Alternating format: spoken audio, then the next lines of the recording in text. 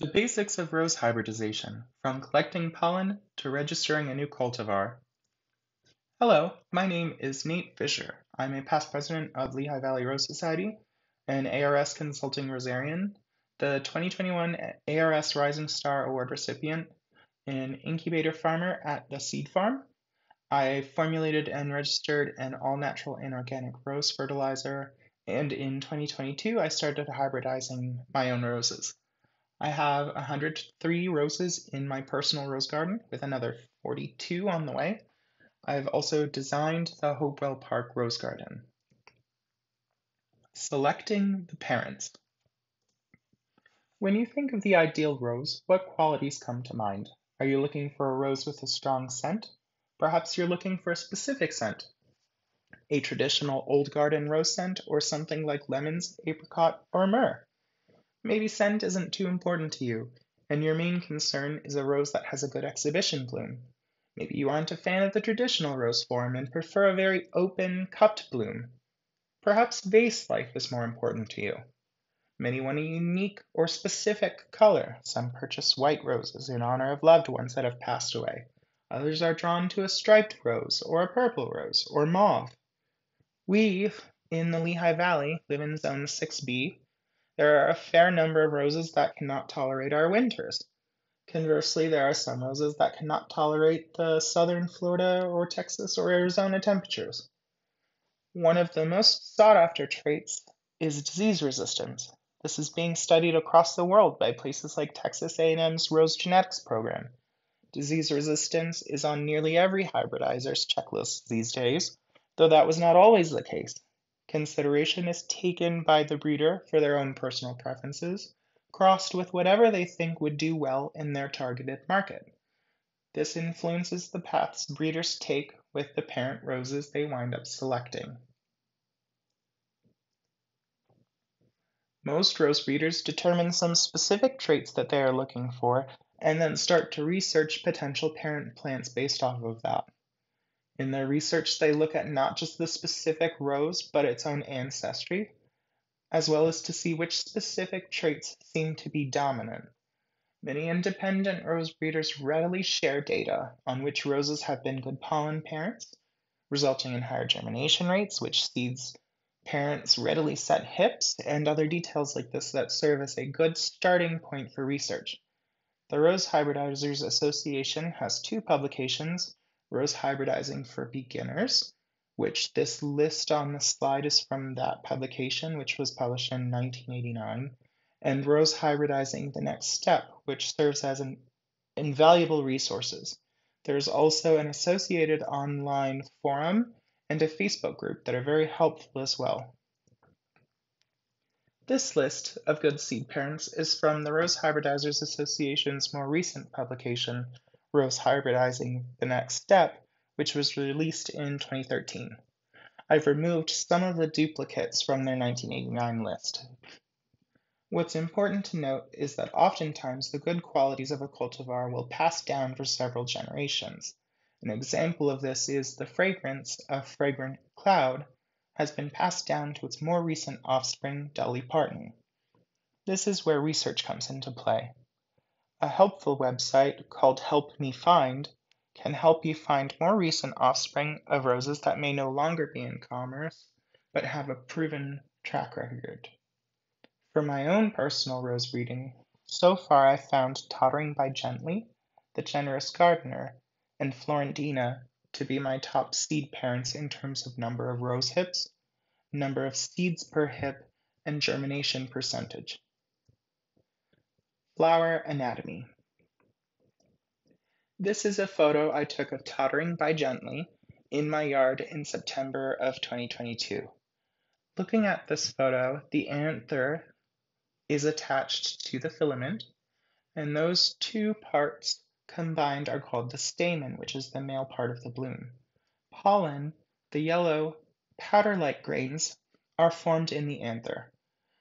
I'm going to reference this photo in a couple slides, so I want you to take note of the color and the um, appearance in general of the anthers in this photo.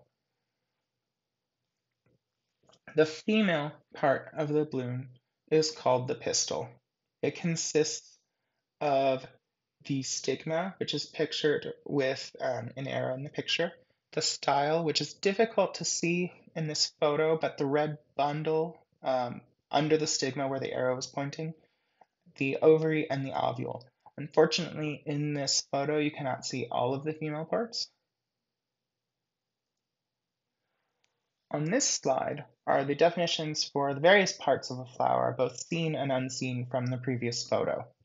So the male part, again, is called the stamen, which consists of a filament and an anther which produces male germ cells carried in pollen grains. Interestingly, the inside of the pollen grain is actually liquid, and that is where the germ cells are located. The anther is an organ born at the upper end of a stamen that generates and discharges the ripened pollen. The filament is the stalk of the stamen, which bears the anther, and the pollen again is the yellow powder-like grains which are formed in the anther, which can contain the male germ cells.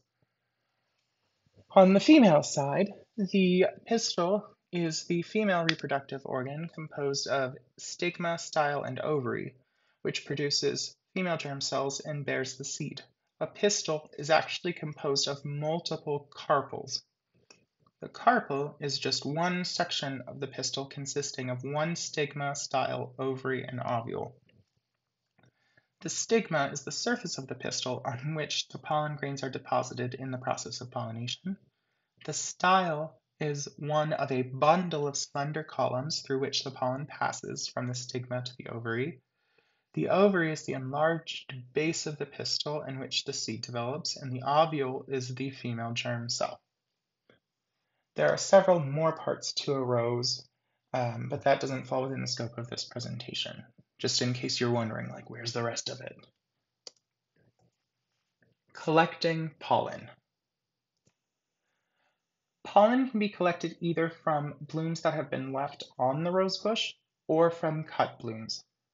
Select a bloom early in the morning that is partially opened. I find it easiest to remove the anthers with a pair of tweezers by pinching the filaments. Carefully let them fall onto a sheet of wax paper as you pinch them off, then dump the anthers into a clear container like a baby food jar. Try to keep the anthers uh, separated in a flat layer, not stacked up on top of each other, as best as possible, which um, helps to allow them to dry out. Um, you want to allow them to sit for about 24 hours in a warm and dry location. Once the pollen has ripened, swirl the anthers in the jar vigorously. The goal is to get the pollen to stick to the bottom and the sides of the jar. The anthers must then be removed to prevent mold during storage. Some people prefer to cut off the entire bloom, remove the petals, lay it on a piece of wax paper for 24 hours, then shake it out onto the paper.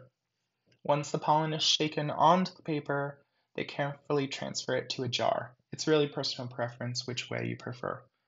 Um, it is best to use the pollen right away, but it can be stored in the fridge for two to four weeks or in a freezer indefinitely. Be sure to label your pollen, which rose the pollen came from, and um, so you're able to keep accurate records of your crosses. Preparing the seed parent. Starting early in the morning, you want to carefully remove all of the petals from the bloom. It is essential that the bloom be not too far along that the stamens are mature, uh, releasing their own pollen.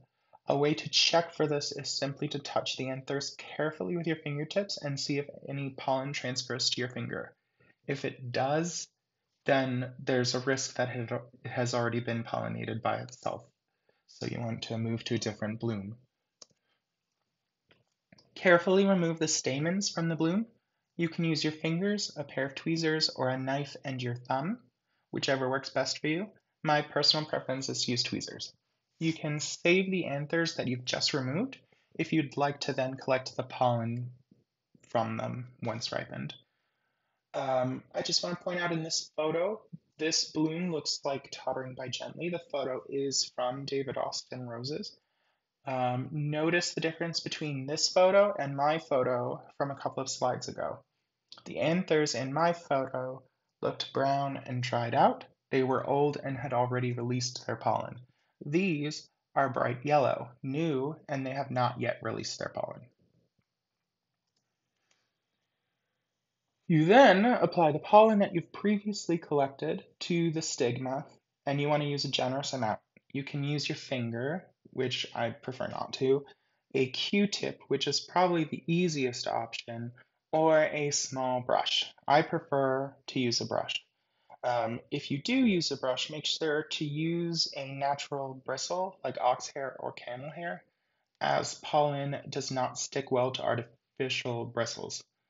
Um, you must sterilize or uh, discard whatever you use in between using different varieties pollens. This is where it's probably easier to use a Q-tip because you can just throw it away and grab a new one each time you change different to different pollen. Um, but to sterilize a brush, you want to use either ethanol or isopropyl alcohol and dry it thoroughly. If you don't dry it thoroughly, the alcohol will wind up sterilizing the pollen. If you have enough pollen, you can repeat your pollination up to three days in a row to assure fertilization. After pollination, you may want to loosely cover your blooms to protect the pollen from wind, water, sun, um, insects, or to and also to extend the pollen's viability. Um, you want to make sure not to use anything plastic though. The rose hip. If your pollination has been successful, in about two weeks you'll see the base of the bloom start to enlarge, eventually forming the familiar rose hip. Rose hips typically mature in about 90 to 120 days. Over time, they change color to yellow, orange, red, reddish brown, purple, or um, even olive green, depending on the seed parent. Once the rose hip has ripened, you can cut it off from the rose I place all of the hips from the same cross into a Ziploc bag labeled with that specific cross as a temporary means of storage. When I'm ready to get the seeds harvested, I go one bag at a time, cutting open the hips and removing the seeds. You don't actually have to worry about being careful at this step. The seeds are strong and you won't cut through them. If you do cut through them, they're no good. You want to make sure that the seeds are clean of any fleshy material. A fun fact, if you look closely at these photos, you'll see this like hair looking substance on the cutting board. Those little hairs can actually be used to make an itching powder. Tracking data. This is where my OCD heart is a flutter. I love collecting data. There are some rose breeders that keep virtually no data. They just create crosses, harvest hips, collect seeds, stratify them, plant them in trays, and hope for the best. I couldn't do that. I keep track of the number of the same crosses attempted. For example, how many Tottering by Gently blooms did I pollinate with lemon fizz pollen? I then count the number of those crosses that resulted in a rose hip to determine a pollination rate for that specific cross. When harvesting the seeds, I count up the total number of seeds from each rose hip with a specific rose cross. I then divide that number by the total number of rose hips from that cross to determine an average number of seeds from each specific cross. Once the seeds are planted, I keep track of how many germinate from a specific cross by dividing this number by the total number of seeds in a cross, I can determine a germination rate for a specific cross. In order to keep all of this data more manageable, I've come up with a code for each pollen parent and a code for each seed parent. Many rose hybridizers do this, and they all have different methods of, of labeling their crosses. Uh, I start with the year, then the seed parent, which is always first, then the pollen parent, then the hip number, then the seed number from that specific hip. As the seedlings progress, I'll be able to collect more data on growth habit, bloom form, color, disease resistance, and other information. Um, keeping track of all of this data helps uh, not just when culling seedlings, it also helps to determine which desirable traits are coming from where, and it helps to inform a decision on new crosses to try out. This can help to improve germination rates and give me more viable seedlings to work with. In my first year, I wound up with 2,464 seeds from a total of 288 hips.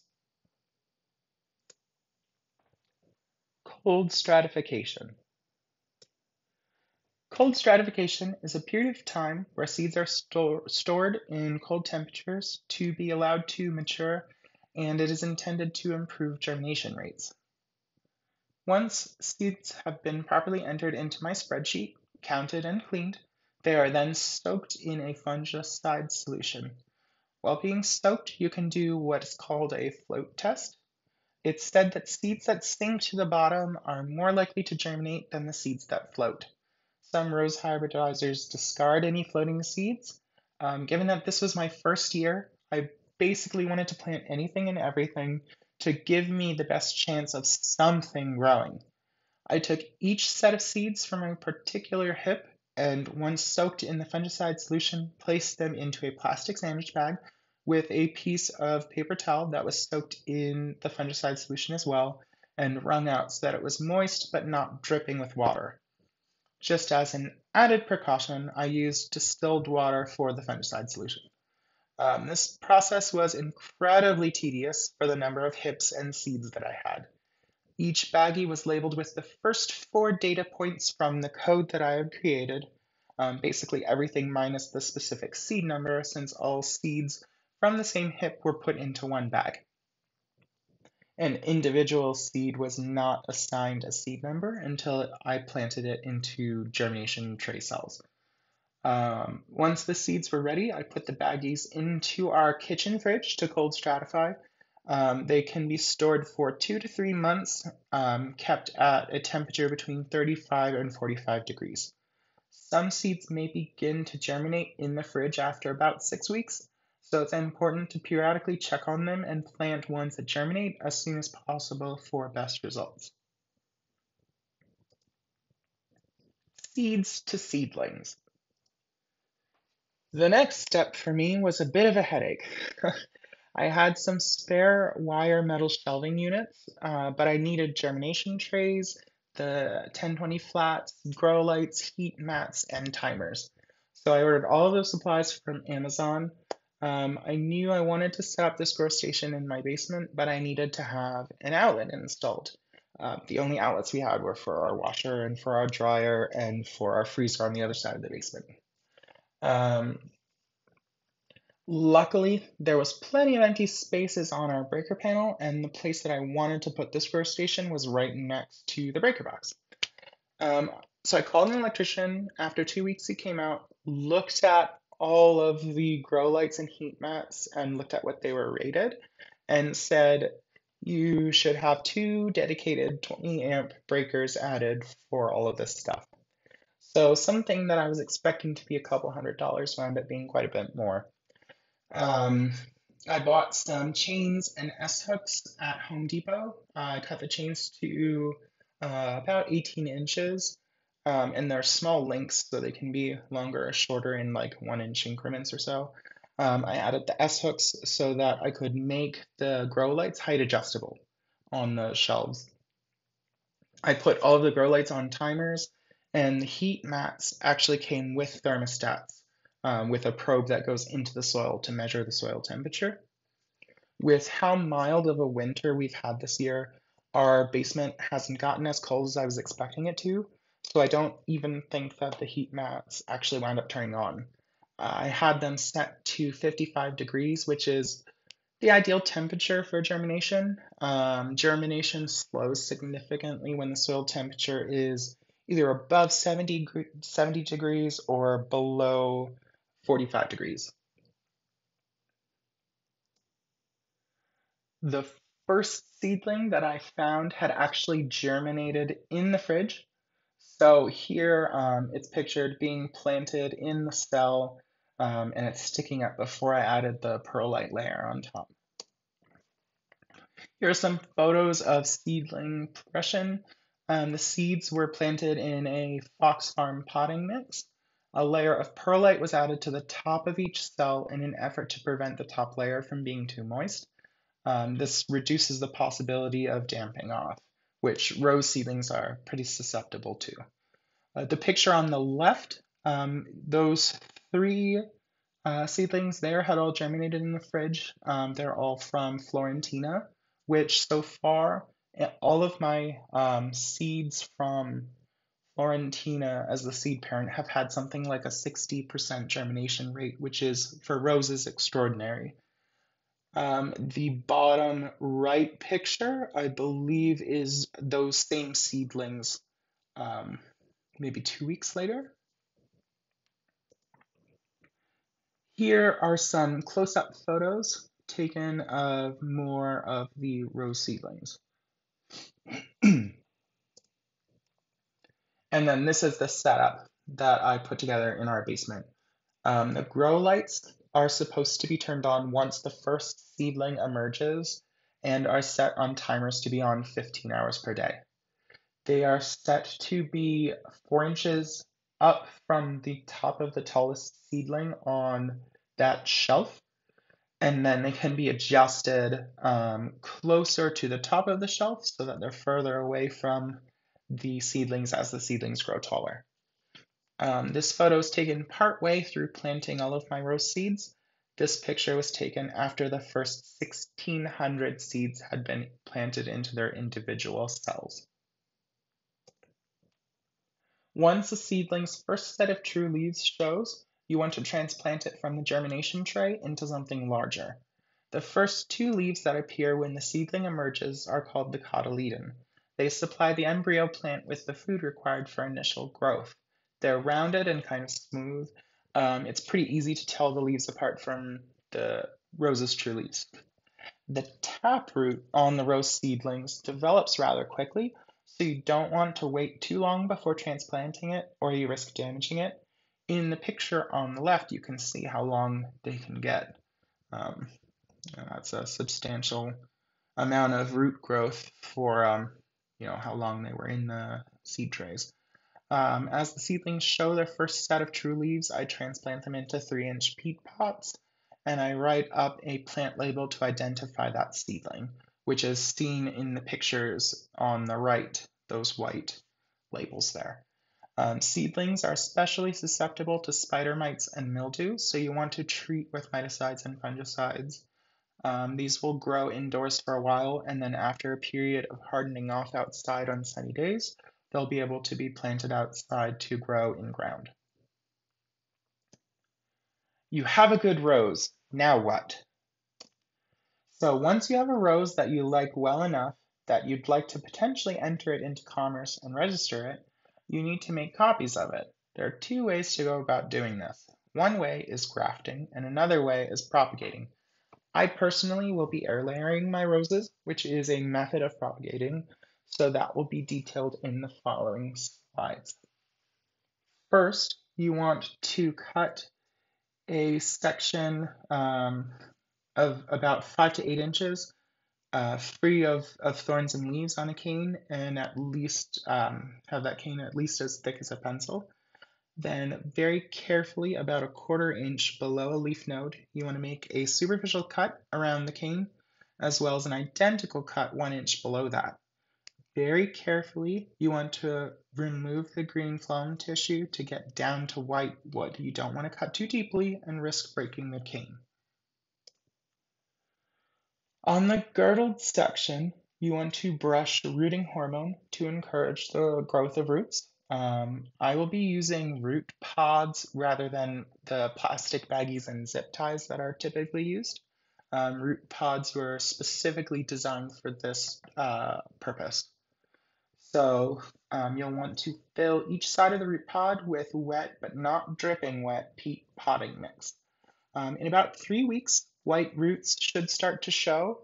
At that point, it's helpful to add a weak liquid fertilizer to the pod. In about six weeks, it should be full of roots and ready to plant. You want to cut the cane just below the pod. trim the upper cane to about 8 inches tall, leaving several leaf nodes, but removing all the leaves. In about one to two weeks, you should start to see new leaves grow. The alternative to propagating a rose is grafting it. Basically, you take the rose you want and attach it to the roots of a different rose. This different rose is called the rootstock. The three most common rootstocks we see are Dr. Huey, Fortuniana, and Multiflora. Fortuniana is used primarily in warmer parts of the country. It's very vigorous and does well in sandy soil, but it's not very cold hardy. It is tolerant to nematodes, a um, common pest in Florida that invades roots.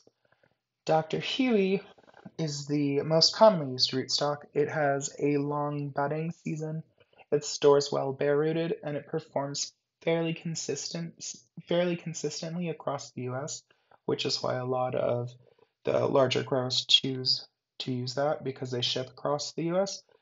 Um, multiflora has a tendency to pick up salts and it's not very happy in alkaline soil, but this is the rootstock that typically does the best in our area. so there are pros um, and cons in grafting. Um, so grafting has been the primary method of producing roses ever since the first hybrid tea rose was introduced in the late 1800s. La France um, had a beautiful bloom, but the plant itself was weak. By budding it onto rootstock, it took on more vigor, and budding soon became the method of producing the modern rose. This type of growth um, provides more instant gratification. It's being sold at a larger size. Um, you know, typically you can get them in like a three gallon pot um, compared to own root roses, which you know, may come in like a band size pot or a one gallon pot. Um, some cons uh, to grafting roses are that uh, grafted roses tend to have a shorter life expectancy than own root roses. Um, over time, a grafted rose will outgrow the bud union and need to be replaced.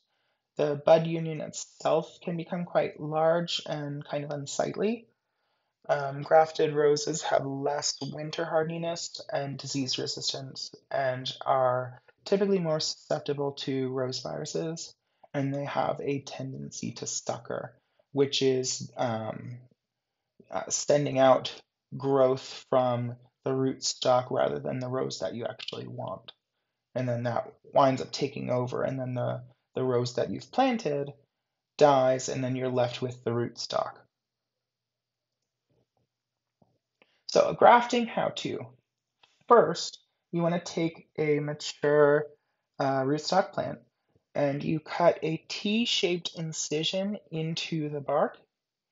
A bud from the rose that you want is placed into the cut and is then wrapped securely until it heals. Once the graft takes, the upper branching of the rootstock is cut off, which uh, leaves just the graft bud to grow, and that eventually forms the new rose bush. In this photo, you can see the T-shaped incision. Um, in the photo on the left, you can see the buds selected from the rose that will be grafted onto the rootstock. In the upper right photo, it's been carefully cut off of the cane, almost like peeled off. It's not the entire cane, like that section of the cane cut out. It's it's almost like like a skin graft almost. It's just like a, a light peel. Um, in the bottom right photo, it's been slid into the incision on the rootstock. In the photo on the left, it's been wrapped tightly in tape to leave it to heal. And then in the photo on the right, the tape has been removed and the bud has sent out new growth. At this point, it can be cut basically where the red line is drawn to remove the upper portion of the rootstock. Registering your rose. You have your rose, you've made copies of it, you've been growing it for a couple of years and are happy with how it performs, how it looks, uh, its disease hardiness, and, and its um, pest resistance. You've decided that you want to register a name for it. How and where do you do that?